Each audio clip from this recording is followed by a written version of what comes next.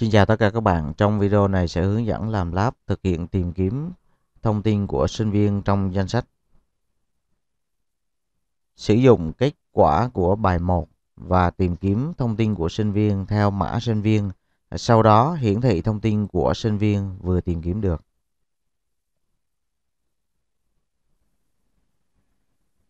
Chạy chương trình video Studio Code và sử dụng lại bài một bài 2 của lớp 8 thì sẽ bổ sung hàm cho phép là tìm kiếm thông tin của sinh viên từ danh sách, thì à, sẽ thực hiện định nghĩa hàm tìm kiếm. Và search à, sinh viên, mã số như thế này ở số sinh viên. Và trong này thì yêu cầu người dùng nhập vào mã sinh viên và chương trình sẽ thực hiện là tìm kiếm mã sinh viên có trong danh sách sinh viên hay không thì uh, sẽ khai báo cha đây là mã sinh viên gồm 7 cái ký tự.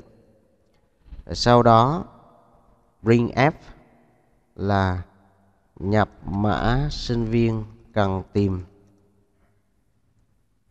và sử dụng đó là get s. Get s thì uh, trong này sẽ đưa vào đó là mã sinh viên để có thể thực hiện tìm kiếm mã sinh viên có trong danh sách sinh viên thì cần phải sử dụng cái vòng lặp. Thì ở đây chúng ta sử dụng cái vòng lặp for và in y bằng 0 y số sinh viên như thế này. Và sẽ thực hiện kiểm tra, tức là gọi hàm string compare. Và sẽ compare mã sinh viên với là danh sách thứ y tức là cái phần tử, thứ y nào đó trong danh sách và lấy cái mã sinh viên. Và nếu string compare mà trả về giá trị bằng 0 thì có nghĩa là tồn tại mã sinh viên có trong danh sách. Và sau đó thì sẽ gọi thực hiện hàm hiển thị. Và hiển thị ở đây thì sẽ hiển thị thông tin của sinh viên có trong danh sách. Và chúng ta có thể thấy đó là hàm hiển thị được định nghĩa sau hàm, đó là tìm kiếm. Và vì vậy, chúng ta có thể chuyển hàm hiển thị lên trước cái hàm tìm kiếm để tránh các cái thông báo lỗi cũng như là các cảnh báo của compiler, tức là cái trình biên dịch.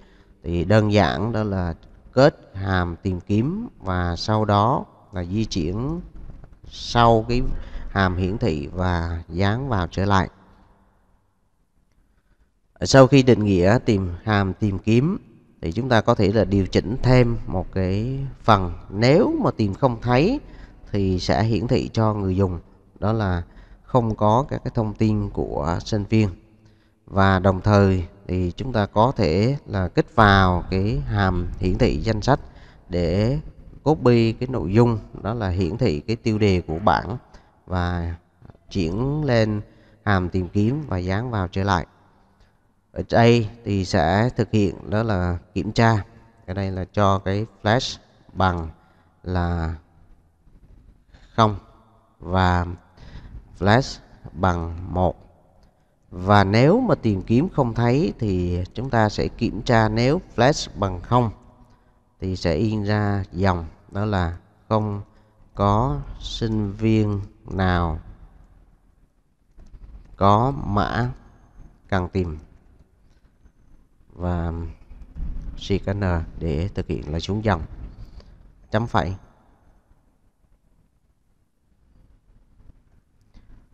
Và đây là nội dung của hàm tìm kiếm. Thì trước hết là định nghĩa mảng ký tự, mã sinh viên và yêu cầu người dùng nhập vào mã sinh viên cần tìm sau đó hiển thị cái tiêu đề của bảng và sử dụng một cái vòng lặp for để thực hiện là kiểm tra mã sinh viên của các cái sinh viên ở trong danh sách. Ở đây là mã sinh viên ở trong cái danh sách và sinh viên thứ y nào đó. Với mã sinh viên người dùng nhập vào cần tìm. Và nếu mà bằng không thì có nghĩa là tồn tại cái sinh viên có mã và sẽ gọi thực hiện hàm hiển thị và sau đó là bật cái cờ là bằng một để đánh dấu là có cái sinh viên tồn tại ở trong danh sách và ở đây thì sẽ kiểm tra cờ và nếu không có sinh viên tồn tại thì sẽ thông báo cho người dùng biết là không có sinh viên nào cần tìm. Trong nội dung hàm main bổ sung lời gọi hàm tìm kiếm. Ở đây thì à, chúng ta có thể là bổ sung sau cái phần hiển thị ở danh sách sau khi sắp xếp.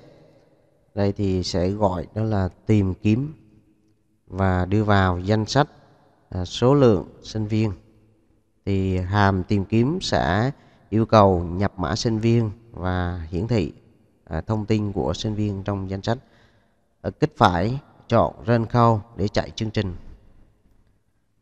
và ở đây thì à, chúng ta đang có cái thông báo lỗi, đó là string compare. Thì à, đây là ờ, cái hàm mà chưa có khai báo thư viện cho cái hàm này, đó là string compare.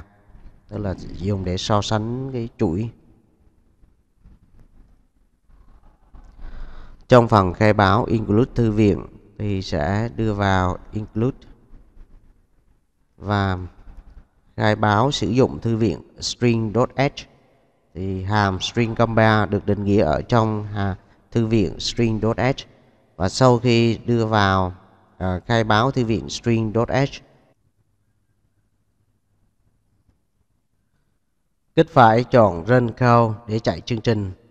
Và chương trình yêu cầu nhập số sinh viên thì nhập 3 nhấn Enter nhập mã sinh viên PD 12 nhấn Enter. Anh, ngành học IT điểm trung bình 9 nhập mã sinh viên.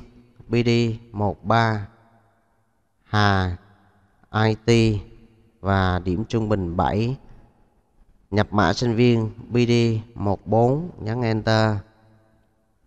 Họ tên Trung, ngành học IT và điểm trung bình 8 nhấn Enter thì chương trình sẽ hiển thị ra cái thông tin và yêu cầu là nhập mã sinh viên cần tìm. Ví dụ là nhập vào BD 12 nhấn Enter, thì chương trình sẽ tìm kiếm cái sinh viên có cái mã đó là một hai ở trong cái chương trình, ở trong danh sách và hiển thị cái thông tin của sinh viên này ra.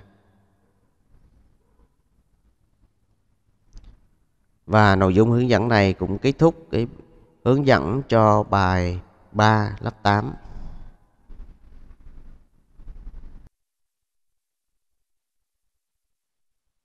Xin cảm ơn sự quan tâm và theo dõi của tất cả các bạn.